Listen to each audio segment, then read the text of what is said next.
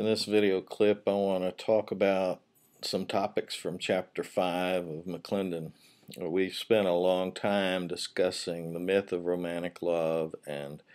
the ways in which uh, our concepts of love have been distorted and how that affects the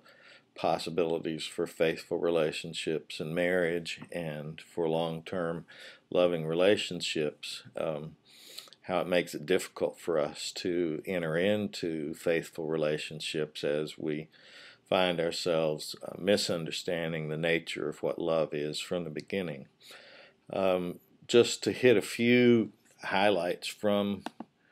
this uh, chapter that we didn't already discuss. Um, there's um,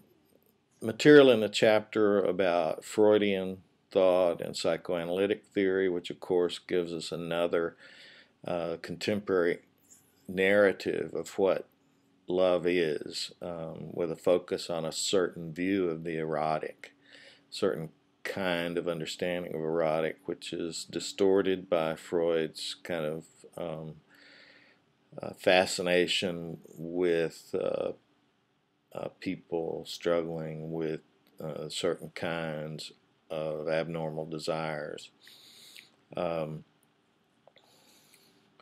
McClendon also brings up the work of Carol Gilligan, who, uh, among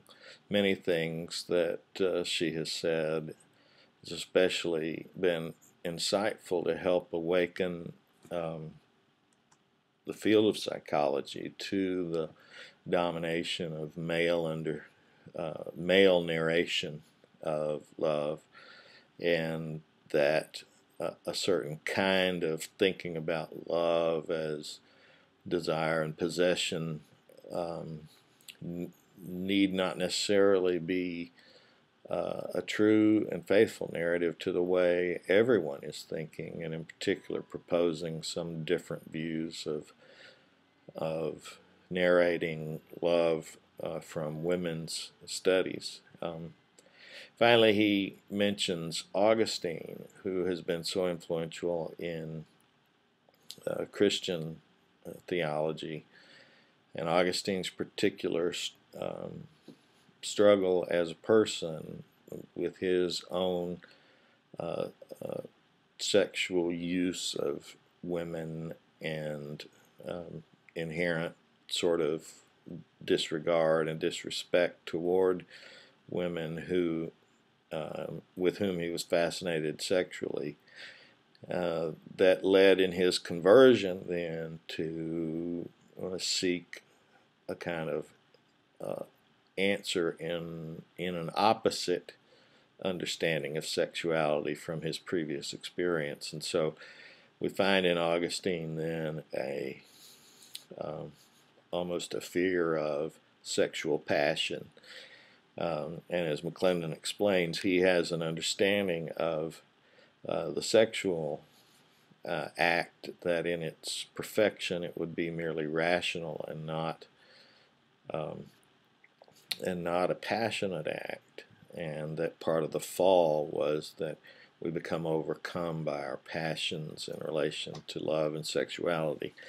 And so these kind of distorted ideas in his theology while they don't make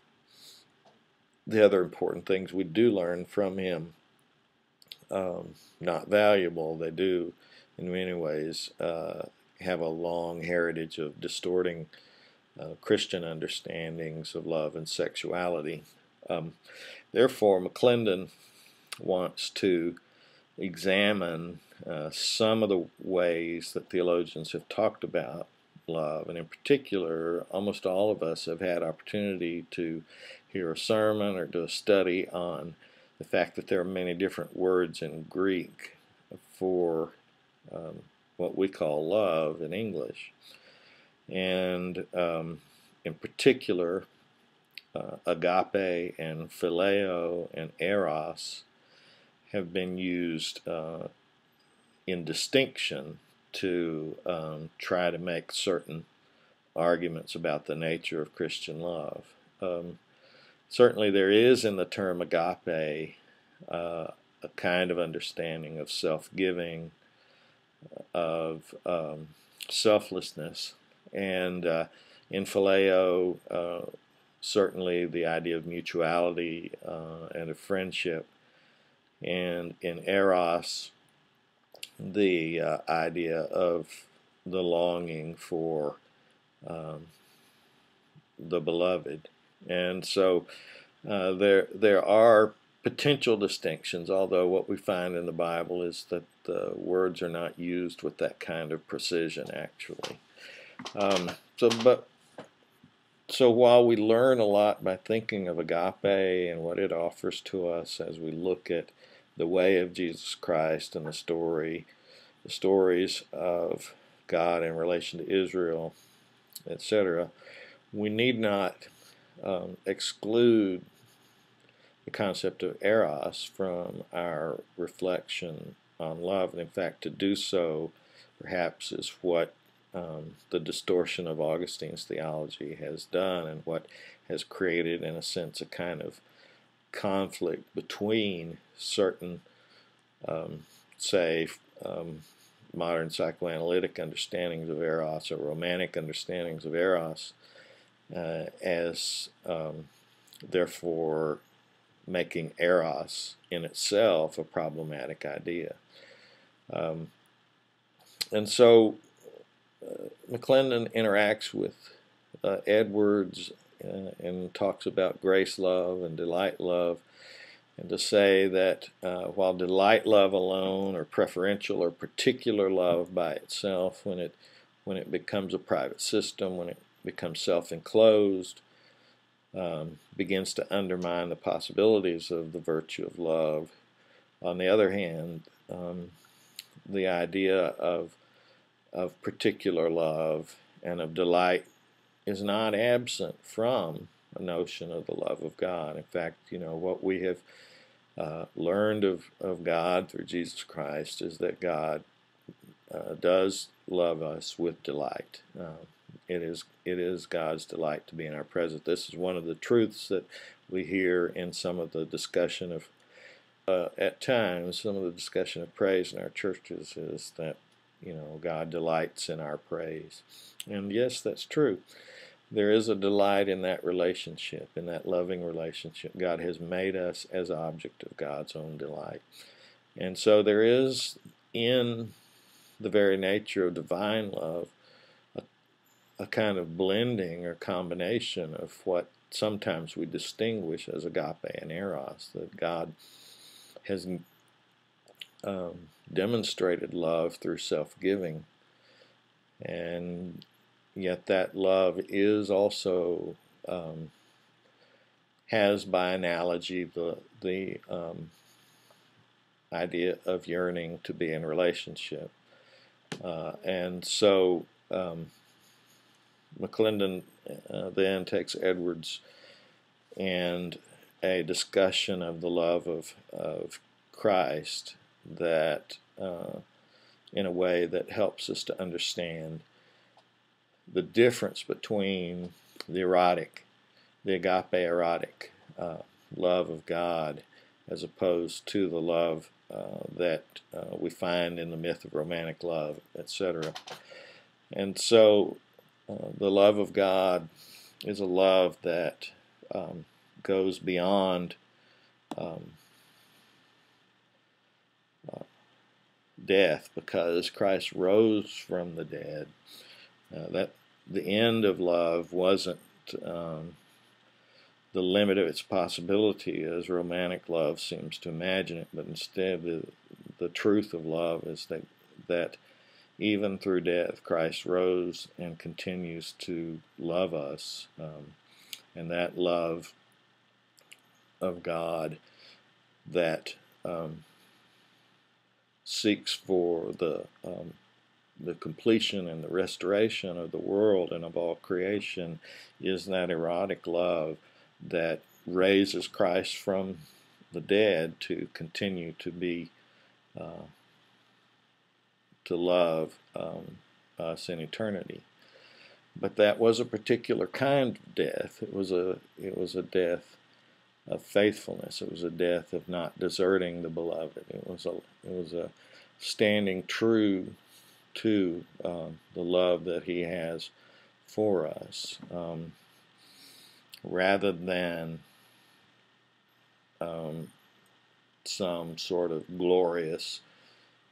death that uh, you know says, "Oh, well, I'll love you even if you don't love me back." This, you know, this kind of uh, look at my greatness because of my love. No, it was a love of consistent faithfulness and caring, and as uh, the scriptures tell us, um, it was a love in which uh, uh, the life of Jesus shared with his disciples and shared with those uh, whom he with whom he lived in this world allowed for the the flourishing and the development of the fruit as we say the fruit of the spirit of of the fruit of love to uh, be in his life and so it was his faithful life uh, that is especially a sign of what that love is the delight in in his beloved was a life that was a life of love. And in every way, it was a life of love. And so, um, uh, in that way, the particularity of love that we know and we associate with marriage and with the um, sexual relation is a love that is not uh, only an end in itself. It's not a love which sort of um, becomes self-enclosed and and distinct, but it's a love, that love that's shared between uh, faithful partners in marriage is a love that becomes the crucible of in which uh, even greater love can can be